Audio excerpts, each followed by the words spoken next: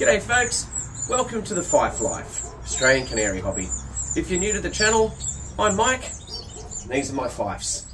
And uh, in this latest episode, journal number 14, I'm going to be talking about a review of the, the breeding season, uh, which for me up here in North Queensland, pretty much done and dusted. Uh, so for me, uh, we've, we've made it through uh, three rounds of breeding for some of the hens, uh, for the majority of the hens, two rounds. across Australia, probably for a lot of people, they're just rolling into their first round or getting through the first round. So we are definitely ahead, but that's the game up here, uh, being so far north and uh, where it is starting to warm up. All right, so uh, there's been a few thrills and spills along the way. Uh, there's been some good, some very good, a few things that haven't been as, as successful, which I'd really like to talk to, and hopefully that'll give some people uh, tips and pointers and maybe even some help for, for next year. Certainly some things that uh, I've, I've needed to look at and I, and I want to put in place so that next year's equally as successful or even a little bit better. But I think it's going to be hard to top because uh, we really have had a very successful breeding season. And as you can see, the cages are pretty full. The birds still look really good. So uh, I'm rapt and uh, I think bringing Fifes into my shed this year was a very good decision. Alright, so let's get started. As usual, there's a, a couple of things that we always do. And the first one's shout outs.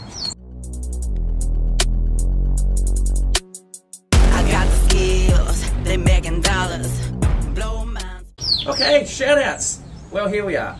Uh, look, only a couple, but I wanted to say a very big shout out uh, to one of our biggest followers, uh, the channel here, and it's Mick Tiffany, uh, and of course Matt Eld. Guys, it was lovely to see that you caught up. Uh, I don't want to be a spoiler, so uh, no doubt Mick has some things that he'll be sharing on his channel. That's Tweet Street.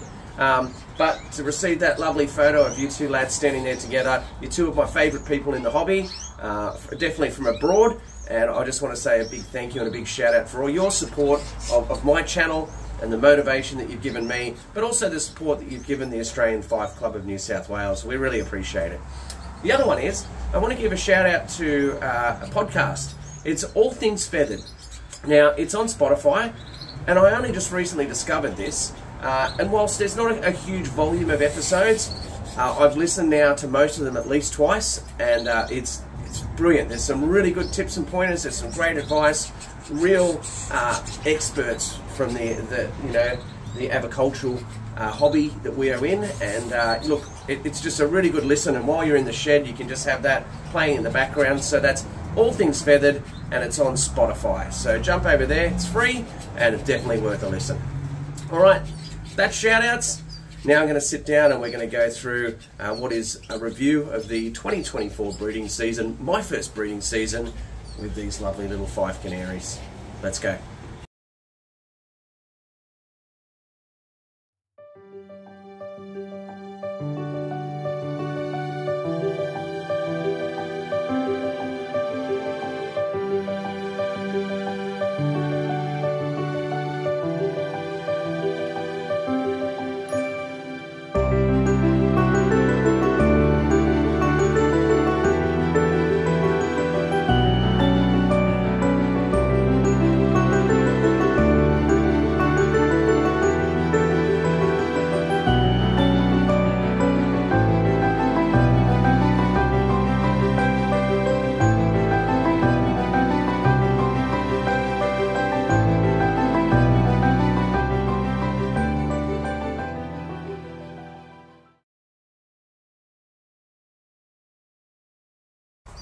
All right. Uh, the main topic and the main part of today's episode is going through uh, review and a review of the breeding season here in the shed for 2024.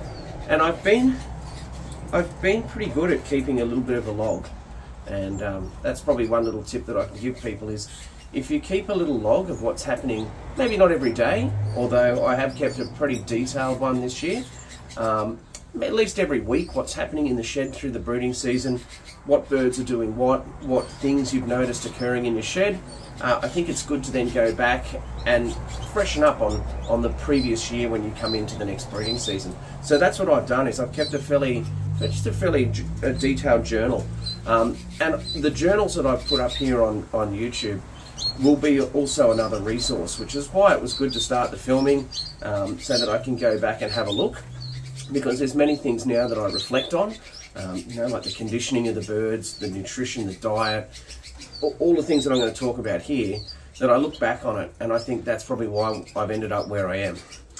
And where I am is that the, the breeding season review is that I ran with 12 cocks this year and 15 hens.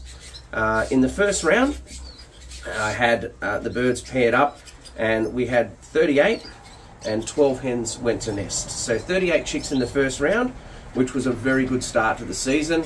Uh, look, no doubt the wheels fell off a little bit when I had a bit of a meltdown, but that was really around uh, one or two cockbirds being a little bit uh, too hot and heavy and, and, a few eggs getting smashed, but it really didn't affect the, the long-term results of, of those numbers, which is very good.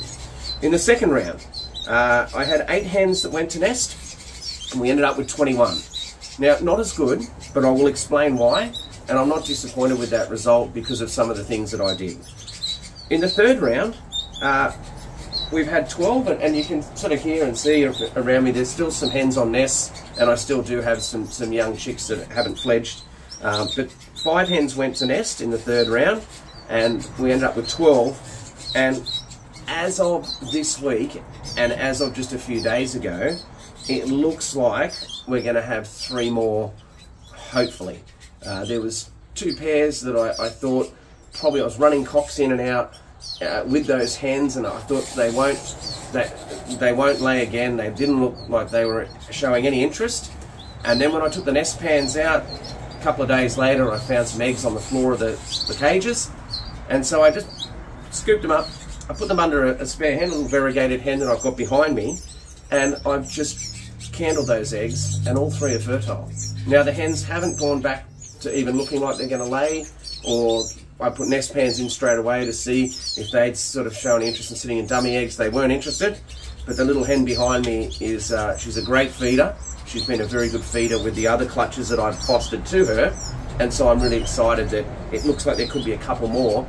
And that's from the, the birds that I really wanted to breed this year. So three, three rounds from those two hens, albeit there's only three eggs between the two of them. It's still very good and I'm really happy with that. So Total so far, 71 chicks. Uh, that's my first season with Fifes, and I think it's a, it's a pretty good result. I'm pretty happy with that. Um, it could have been better, and I'm going to talk about now, you know, first of all, what worked and what went really well and what was good, and then I'll talk about what was not so good. Because I don't want to say what was what was bad, because nothing's really been bad. Um, they've just been delightful little birds to have in the shed. They've they're fantastic little feeders. Um, you know, I gave them the best chance to breed, and they've returned the favour uh, by just doing a fantastic job. And I really am, I'm in love with them. I've Fifes have just totally uh, reignited my passion for the hobby, which was dwindling a little bit after a couple of tough seasons. So, firstly, what worked, I just want to say everything from Matt. The nest pans, especially, mate, they are fantastic. They're awesome.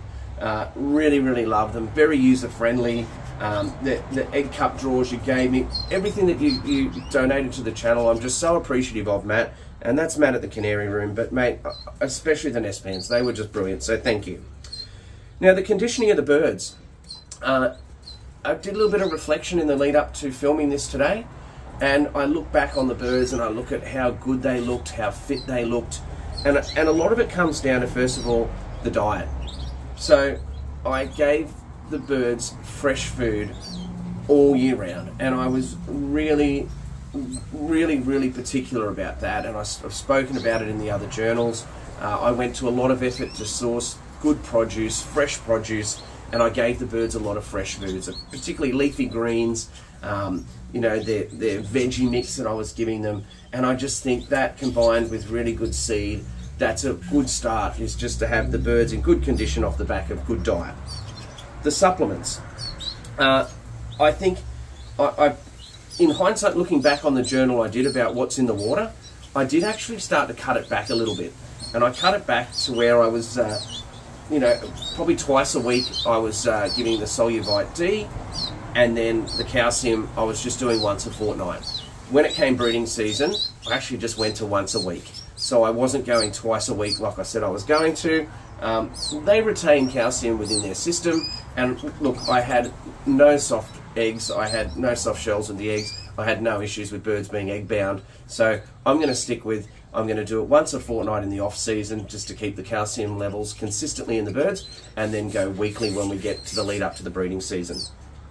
The other thing is with the supplements, I spoke about shifting to Soluvite D, the, the breeder specific one, and I made a shift uh, pretty early in the breeding season off the back of wanting to stimulate the pituitary gland, which is very important in breeding, um, and I actually started to put it in the egg food. And I think, look, I can't say whether it was better, but it was definitely better than having it in the drinkers where sometimes they choose not to drink it. So I don't know if it gave me a better result, but it was a lot more user friendly that way. It's a multivitamin as well, which means that the chicks have been getting it, and everyone looks really healthy and really fit. And we haven't lost many chicks. I've lost a couple, which I'll talk about, but but not many at all. Um, so that was a good thing that worked really well. Uh, medicating. I didn't over medicate these birds. Uh, I normally do. I normally worm the birds about. I'm going to say once a year. Sort of do it. You know, once once they get through the molt uh, and they're not they're not fragile after molting. I, will run the wormer through them, and then I just use S76, um, and and that product's really really good. That's uh, Dr. Rob Marshall's product, and I'm just going to stick to that. I didn't do a lot of other stuff. I, I didn't use um, any, any, ivermectin or anything like that. So I'm, I'm going to stick with what I did this year because it worked and the birds didn't get over medicated. So that was good. Um, the hens were fit. Now I gave the hens three months of conditioning out in the aviary to fly, to get fit, and they have the, the birds have pulled through. The, I've got hens that have raised three nests, and they are still looking really good. So there's no fatigue in the shed, which is really good at the end of the breeding season. Uh, husbandry. Look, it, it hurts me, it pains me to look at the state of my shed. It is thrashed and trashed. So if you are new to uh, the channel, if you're new to the Fife Life, this is not the normal state of my shed. Uh, I, I, did say to Andrew, the club president, I said, mate, I just want my tidy shed back. Um, because looking at the, the grates in the bottom and, and, you know, just the state of them, I've kept the perches really clean. I've done everything that I can do without disrupting the birds. But if you look closely, it's really, it's not my standard, but that's what happens during the breeding season. The husbandry into the lead up, though, really did help keep the birds in good health. Uh, and that's just me. That's just how I keep my birds, so that won't change. The big one, the really big one was the lighting. And I've spoken about lighting in, a, in one of the journals, but I dialed it up this breeding season to 13 hours and 45 minutes and just an absolute game changer. It switched the birds on. All right, so if you're breeding canaries and if you've had challenges this year and if you don't have lights, I would seriously be recommending that you get lights in your shed. Uh, I started to dial the lights up uh, incrementally, and you can go back and watch the, the lighting journal to see. And, and, I spoke about what I did with the lighting, but just an absolute game changer. It meant that I could start breeding uh, as of the start of August, and it means that I'm pretty much done now at the end of October. So it's just lit the birds up literally, and that's a figure of speech, but they have just been awesome. And I can't recommend having lighting in your shed enough. If you don't get it, it's just game changer. Uh, the pairs. Now, pairing up birds worked well for me. Uh, I'm pretty busy, pretty busy schedule, but what I did in the first round in having the birds paired up, it gave me a really good start. It gave me good numbers uh, to start off with. So next year, I'm going to do numbers wise, I'm probably going to do 12 cockbirds again, but I'm going to run 18 hens. And I'm going to do 12 pairs to begin with, and then after that, I'm going to do what I've done this year, which I'll talk about a little bit more, which is I'm going to then run the best cocks in the shed over multiple hens. And that this year that has worked well. All right. Now fostering nests out to feeders, that was something that I did, and uh, it meant I had to shuffle things around a little bit, uh, which was okay. But I had to shuffle eggs around um, and put them under uh, some of the hens that were of lesser quality, but were good feeders and I've got a cinnamon hen in the shed, and God bless her, she has raised three nests, all of four chicks, uh, and none of them have been her own. So she's not a bird that I saw great qualities in. She wasn't a bird that necessarily I wanted to breed from. I did try and pair her to uh, the white ground cock we have here in the shed, the white variegated cockbird. Uh, she just absolutely belted him. She attacked him. Uh, she wasn't interested but what I did do is I put a nest pan in there, she laid clear eggs, and then I kept her on dummy eggs until I could start to rotate eggs that I wanted to foster out, which then allowed me and gave me the chance for my better quality birds to get through three rounds and not be fatigued because they haven't fed any of them. So that was something that worked really well. So when I say I'm going to keep 18 hens next year, I might keep three hens purely off the back that this year they are experienced feeders and they've been really good feeders and I might keep them in the shed just for that role because that helped uh, really help with getting better quality birds. Off the back of saying that, it did decrease some of the numbers because in some of the their nests I did I did turf the eggs. I didn't check whether they were fertile or not. They were the lesser quality birds, um, but I wanted to get good quality birds eggs under those birds, which meant, look, we could have hit probably 90 fairly easily this year because there was four nests of four that I, you know, just wiped completely and said I'm going to put better quality uh, birds' eggs under those birds. So that was something that I did. Worked well, but, you know, as with everything, every action has a reaction. Now, uh, a really interesting point is that I, in running pairs, worked out a very effective system that worked well in my shed this year, and it's something I'm definitely going to replicate. Now, in the case of the second round, I actually had four hens that laid clear eggs. And the reason that happened is I left the cockbirds in the whole time to help feeding, and I basically think they were just so busy feeding chicks, they forgot to mate. So, in the other nests where I had the pairs, I allowed the cockbirds to feed the chicks and assist with feeding for the first two weeks. I then put the wire divider in, uh, like you can see in this cage here. I separated the cockbird and allowed the hen to finish feeding the chicks for another week, week and a half. Then I reintroduced the nest pan, then I reintroduced the cockbird, and uh, that proved in all of the situations the cases where I did that to be 100% successful. Four eggs in every nest, four eggs all full in every nest. So it's definitely something that I'll be I'll be replicating next year. So run the cock in, let them mate, let them bond, let them rear the chicks for two weeks, then pull the cockbird out, put the divider in. He was still feeding the hens through the, the wire and later on was happily feeding the chicks through the wire removed the wire divider and he went straight, in every single case, they went straight back to treading and mating and the hens went straight back to nest. So that's something I'll definitely be doing. Now we get to the not so good. And it said nothing bad, there's nothing bad.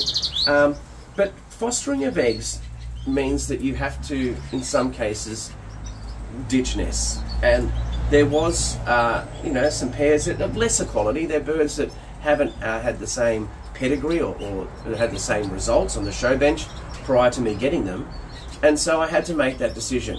And I made that decision off the back of also that there was some birds in the in the shed, whilst of lesser quality, they're very, very good feeders.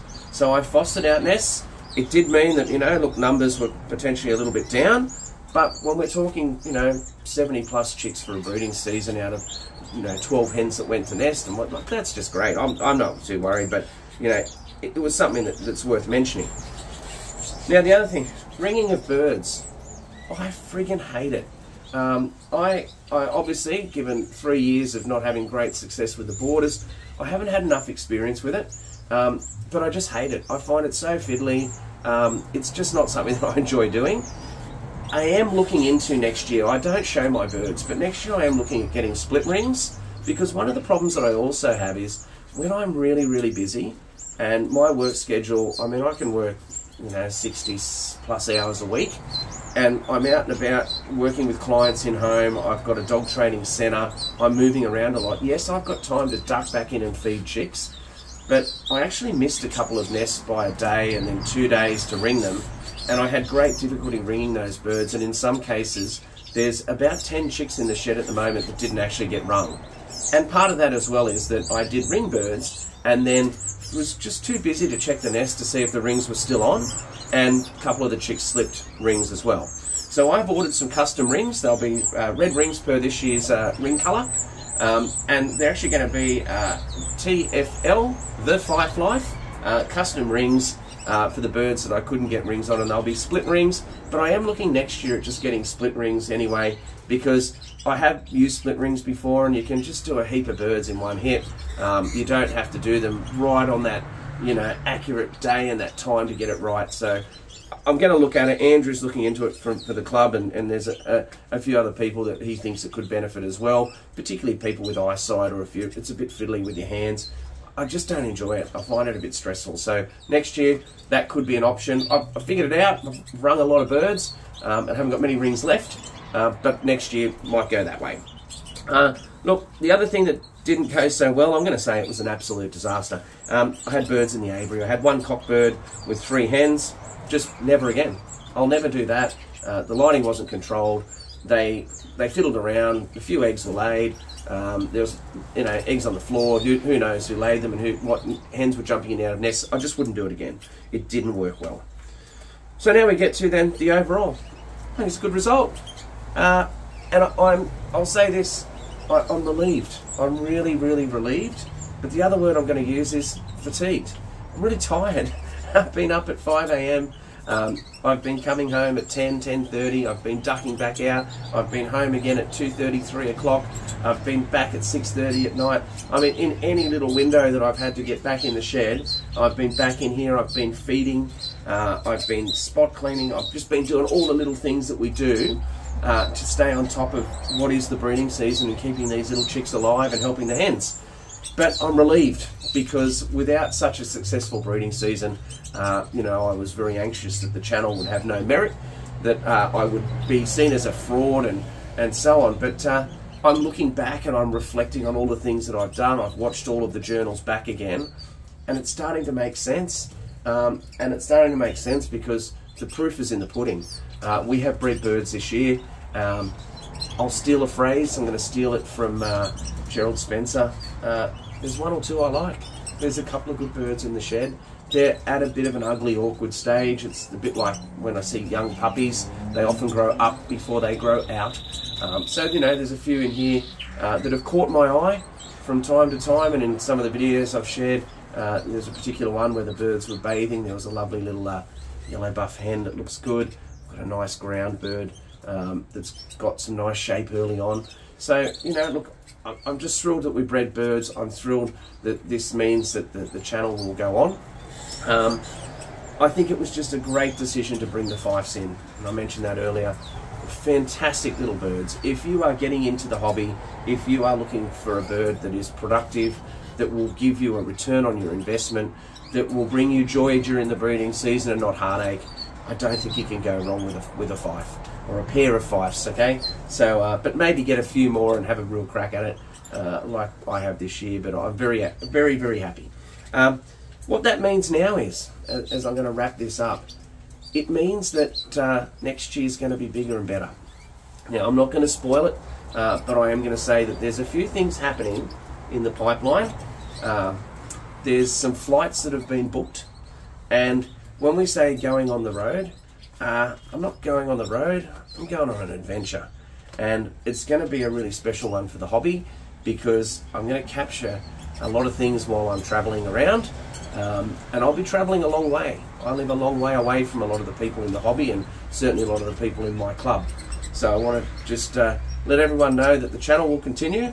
Um, there is big things planned for 2025 and off the back of that there will be some very special episodes uh, uh, you know, with me getting out there and showcasing really what the hobby has to offer on a level that's far bigger than my shed. So that's what's planned. Guys, thank you so much for watching. We have one more episode to come. In that final episode, uh, I'm going to be just talking a little bit about the retention of birds, what birds I'll be keeping, what plans I have for next year with birds in the shed.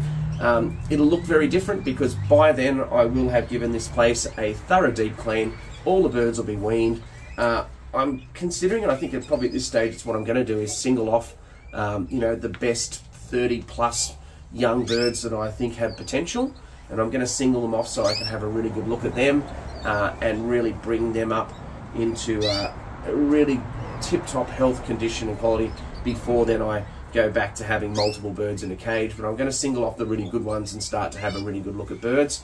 I've already moved 26 birds out into the aviary. Um, that's a mix of some young birds and some of the, the breeding birds, the breeding stock birds that I won't be keeping.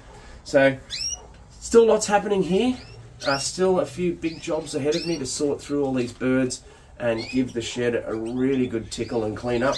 Um, but I'm happy to do it because we bred birds. And that was what this year was all about, was getting a good base and a good number to set up a very good start of Fife birds. Uh, I can't thank Peter Southgate enough.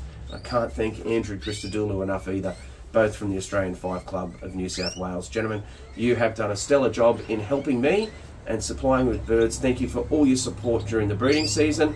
And to the rest of you uh, out there who uh, enjoy the hobby and enjoy, you know, little snippets from me, jump on over to the Australian Fife Club of New South Wales, their Facebook page. There's been a few little updates and things I've shared there. Thank you to every member and all the people that are on that page for your support. All right, guys, that's it. I'm tired. Um, I said I'm fatigued, but I'm very happy, and so I'm going to go and have a little afternoon nap now. Cheers. Bye for now.